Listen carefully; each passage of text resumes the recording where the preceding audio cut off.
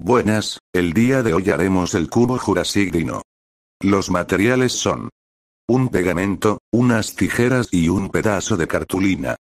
Comencemos.